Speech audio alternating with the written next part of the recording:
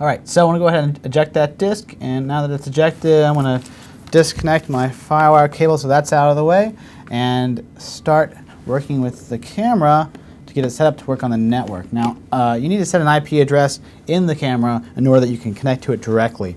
Uh, and to do that, I'm going to go into the menus, uh, lower menus as we always did before, and uh, check out uh, the IP address that's set in there now. Now, it's in the maintenance menu, so I'll click into that, and then I go down to number 22, network.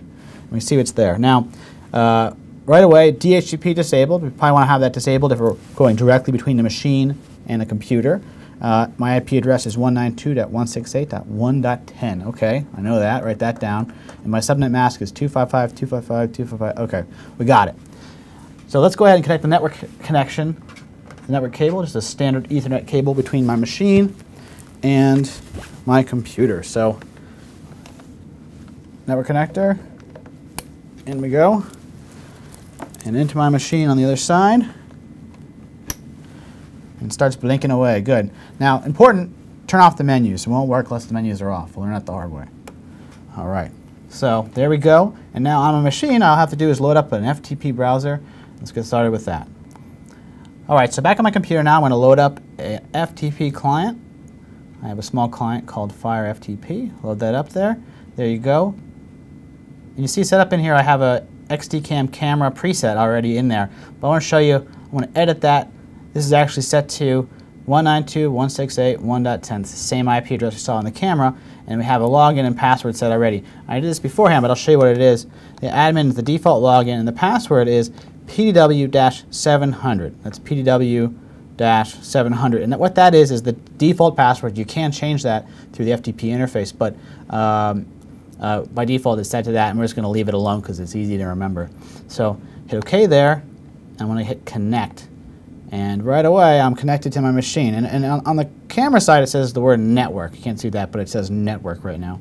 Uh, and I see on there clip, edit, general, sub, and so on. So I already have my information there. I can take this information and quickly just grab it and download it to my machine through the browser I wanted to do that, I could say, for instance, if I wanted just to get one individual clip, hit download there, little arrow key, this is a download option, and off it goes onto my desktop uh, at a really fast rate of download. We're using gigabit ethernet, so it's very fast. So I'm going to go ahead and let that go. Uh, but that's how you access it through the network. It's very fast, very easy to do.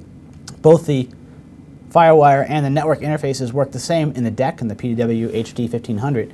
Uh, same interface, same basic principles here. We're just using the camera uh, instead of the deck.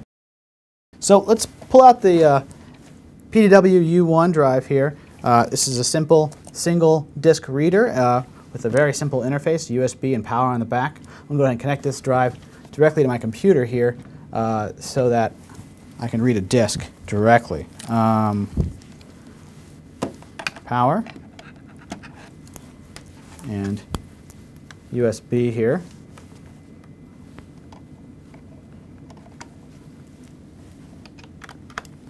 Pop it in. It's on and ready to go. Now I'm going to go ahead and insert a disk into it. Off it goes. Now on my machine, all right, back here, I'm going to go ahead and close out of this browser, hide down, down there, and let's see what happens. Reading, and voila, I have an XDCAM disk. It just looks like an external hard drive here. Click on that, and I can see I have a couple folders there, General and Pro AV.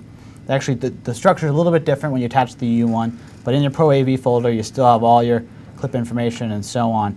Um, and if you load the XDCAM transfer software up again, it's actually going to do the same thing. Here's some clips I have on this disk. Uh, it, it found it right away, and I can do some general information with this as well. Again, very simple way to connect your data to your computer without uh, I mean, a camera or, or a deck. Um, this is great for all, all kind of applications. So that's how you connect these, these different devices to your machine. I hope this helped a lot, and I'll see you next time.